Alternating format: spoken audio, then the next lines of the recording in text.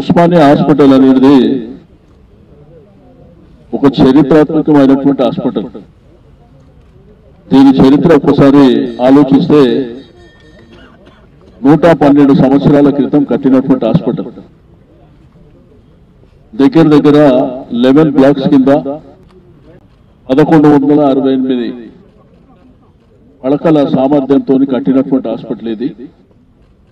ఇది నిరంతరం కొన్ని లక్షలాది మందికి ఇన్పేషెంట్ కానీ అవుట్ పేషెంట్ కానీ ఎమర్జెన్సీ కానీ మరి సర్వీస్ ఇస్తున్నటువంటి హాస్పిటల్ దీంట్లో ప్రధానంగా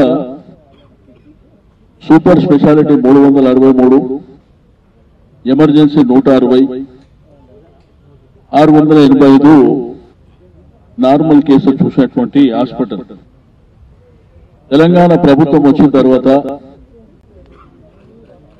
గౌరవ ముఖ్యమంత్రి గారు రెండు వేల పదిహేనవ సంవత్సరంలో ఇది ఎంఎస్ వార్డ్ నంబర్ ఫోర్. దీంట్లో సీలింగ్ పడిపోతున్నటువంటి సందర్భంలో ముఖ్యమంత్రి గారు విజిట్ చేశారు. విజిట్ చేసిన తర్వాత ఆ రోజుల్లో వైద్య ఆరోగ్య శాఖ కార్యదర్శి గారు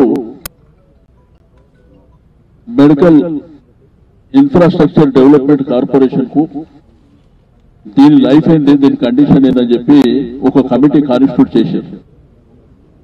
వాళ్ళు స్టడీ చేసిన తర్వాత దీని రిపోర్ట్ ప్రకారం మరి నైన్ బ్లాక్స్లో ఎనిమిది బ్లాకులు డెలాబరేట్ కండిషన్ ఇమ్మీడియట్గా కూల్చేసి కట్టాలనేటువంటి ఉద్దేశం. వెంటనే ముఖ్యమంత్రి గారి హాస్పిటల్ కడదామంటే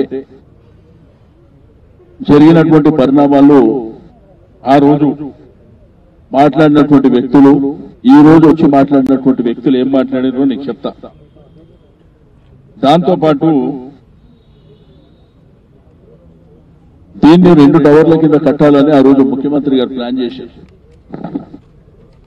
ఇరవై నాలుగు బ్లాక్స్ కట్టాలని. దీంతో పాటు ఇందులో పనిచేసేటువంటి సిబ్బంది ఒక రెండు వందల మంది రెండు వందల యాభై మంది డాక్టర్స్ అరవై మంది ప్రొఫెసర్స్ నూట తొంభై మంది సివిల్ అసిస్టెంట్ సర్జన్లు ఒక ఆరు వందలు నర్సింగ్ స్టాఫ్ కానివ్వండి ఎనిమిది వందల మంది నాన్ గెజిటెడ్ ఉద్యోగులు క్లాస్ ఫోర్. అదేవిధంగా మూడు వందల మంది అవుట్ సర్జన్లు రెండు రెండు వందల నలభై మంది నర్సింగ్ విద్యార్థులు.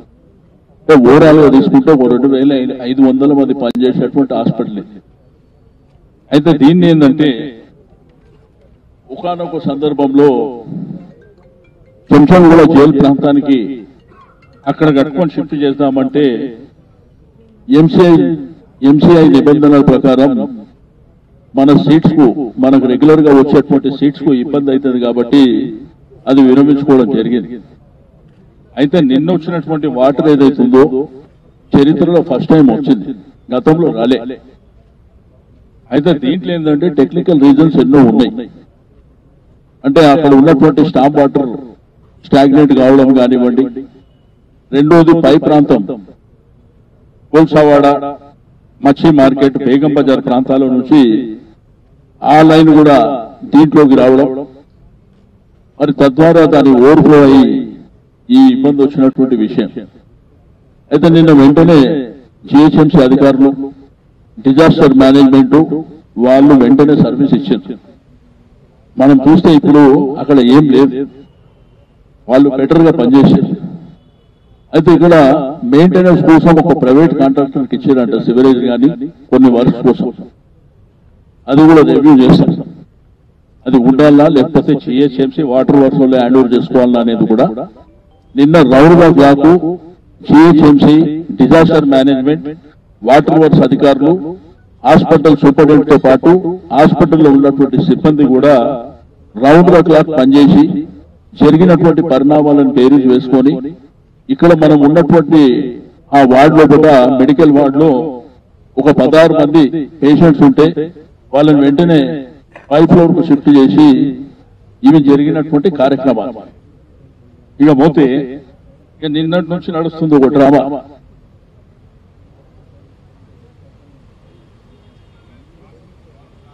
ఇది చూడండి ఒకసారి దయచేసి చూస్తే మీకు అర్థమైతే టూ థౌజండ్ ఫిఫ్టీన్ నిర్ణయించింది. ఇప్పటికే భరతపురంలోని ఫీవర్ ఆసుపత్రిని కింకోటి ఆసుపత్రులను సందర్శించిన వైద్య శాఖ మంత్రి లక్ష్మారెడ్డి తాజాగా మలక్పేట నాంపల్లి వనస్థలిపురం ప్రభుత్వ ఆసుపత్రులను పరిశీలించారు. ఉస్మానియా ఆసుపత్రి భవనాన్ని కూల్చాలన్న ముఖ్యమంత్రి కేసీఆర్ ఆలోచనలో కాంగ్రెస్ పిసిసి కార్యనిర్వాహక అధ్యక్షుడు బట్టి విక్రమార్క ఎంపీ విహెచ్ నిధుల బృందం ఇవాళ ఉస్మానియా ఆసుపత్రిని సందర్శించింది. ఈ బిల్డింగ్ కింద కూలగొట్టడానికి ప్రయత్నం చేస్తే షావద్దు కాంగ్రెస్ కాదు ప్రతి ఇంటి నుంచి.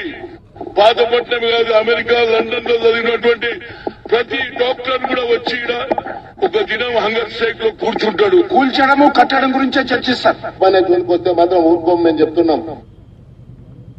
ఇది వీళ్ళ డ్రామా. ఇప్పుడు తెలంగాణ ప్రభుత్వం గౌరవ ముఖ్యమంత్రి గారు ఆయన ముఖ్యమంత్రిగా అయిన తర్వాత రాష్ట్రంలో ప్రతి అంశాన్ని అడ్రస్ చేస్తూ ఉన్నటువంటి కార్యక్రమాలు నీకు ఇరవై నాలుగు గంటల కరెంటు కానీ డ్రింకింగ్ వాటర్ కానీ రైతాంగం పట్ల వారికి ఉన్నటువంటి కమిట్మెంట్ కానీ రెండోది హెల్త్ మీద గడిచిన ఏ ప్రభుత్వాలు కూడా ఇంత పెద్ద ఎత్తున కాన్సన్ట్రేషన్ చేయలేదు ఈ రోజు ఐసీయూలో కానివ్వండి కనీసం జిల్లా హెడ్ క్వార్టర్ హాస్పిటల్లో కూడా ఏ జిల్లాలో కూడా ఏర్పాటు చేయలేదు కానీ ముఖ్యమంత్రి గారు ప్రమాణ స్వీకారం చేసిన తర్వాత హెల్త్ మీద కూడా పెద్ద ఎత్తున కాన్సన్ట్రేషన్ చేసిండు. రెండోది బెడ్షీట్ల వరకు కూడా ఆయన ఆలోచించండి. త్రీ కలర్ బెడ్షీట్స్ ఇవ్వాలనేటువంటి అంత దాకా డెప్త్గా ఆలోచన చేస్తే ఆ రోజు మాట్లాడినటువంటి దొంగలు మళ్ళా స్టార్ట్ అయ్యాయి ఆ రోజు బీజేపీ కాంగ్రెస్ వాళ్ళు ఏం మాట్లాడారు మీరు చూసారు వాళ్ళు వచ్చి డ్రామాలు ప్లే చేస్తాం. నేనేమంటా అంటే ఈ రోజు ప్రభుత్వానికి కమిట్మెంట్ ఉంది. మా అధికారులు కూడా వార్ ఫుటింగ్ మీద జరిగినటువంటి పరిణామాలు. పోయింది సివరేజ్ వాటర్ పోయింది ఈ మన స్టాంప్ వాటర్ డ్రైన్కు సంబంధించి ఏదైతే రెయిన్ వాటర్ ఆ ఫ్లో లో వచ్చినటువంటి. దాన్ని వార్ ఫుటింగ్ మీద ఇమ్మీడియట్గా టేకప్ చేసినటువంటి.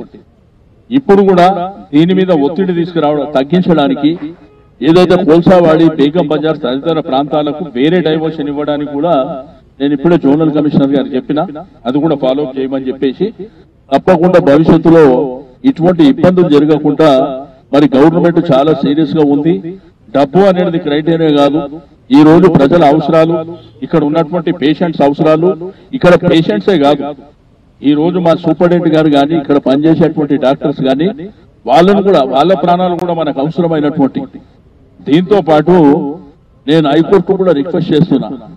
మీరు సుమోటోగా వెంటనే ఇక్కడ జరిగినటువంటి పరిణామాలని మీరు ఒక డైరెక్షన్ ఇవ్వండి. ఎందుకంటే ఇది ప్రజల ప్రాణాలకు సంబంధించినటువంటి సందర్భం. ఇప్పుడు ఒకవేళ ఈ అడ్డు పుల్లలు అడ్డుకాలు వేసి ఆ రోజు కోర్టుకు పోయినటువంటి వాళ్ళు ఈ రోజు ఏమన్నా జరగకూడదు జరిగితే ఎవరు బాధ్యత వహిస్తారు? మాట్లాడితే హెరిటేజ్ బిల్డింగ్ అన్నారు.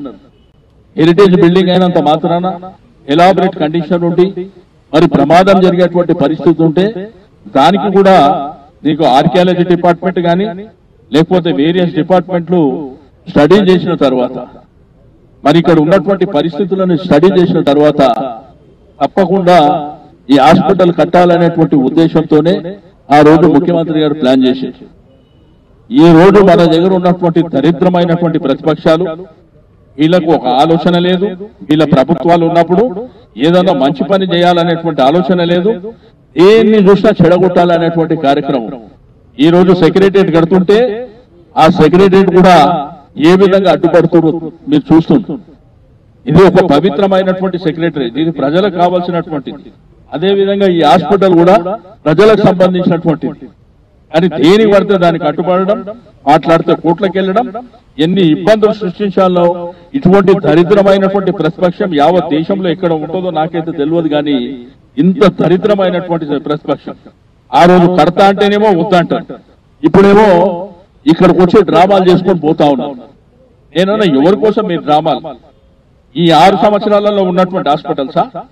మరి నలభై ఐదు యాభై సంవత్సరాలు పరిపాలన చేసిరుగా రోజు బుద్ధి లేదా? చదువుకోలేదా? జ్ఞానం లేదా? ప్రభుత్వం మీద? మరి ప్రభుత్వాన్ని రన్ చేసేటువంటి పద్ధతి తెలియదా? మరి ఆ రోజు ఏం చేసే ఈ రోజు కొంత నీళ్ళు పోయినంత మాత్రాన మీరు వచ్చేట డ్రామాలు ప్లే చేస్తుండ్రే. ఆ రోజు ముఖ్యమంత్రి గారు ఆలోచన చేసి హాస్పిటల్ని కడదామనేటువంటి ఆలోచన వస్తే డ్రామాలు చేసారు కోర్టుకు పోయినరు మీ ఇష్టానుసారం చేసుకొని మళ్ళీ వచ్చేట డ్రామాలు చేస్తారు దీనికి ఎవరు బాధ్యత వహిస్తారు? ఎవరు బాధ్యత వహించాలి? ఇప్పుడు నీళ్ళు వచ్చినాయి. లేదు ఏదైనా జరగకూడదని జరిగితే ఎవరు రెస్పాన్సిబిలిటీ కాబట్టి కోర్టు కూడా దయచేసి దీన్ని దృష్టిలో పెట్టుకోవాలి పరిగణనలోకి పెట్టుకోవాలి. ఈ రోజు ప్రజా సమస్యలు ప్రజా అవసరాలు ఏమున్నాయో దాన్ని దృష్టిలో ఉంచుకోండి.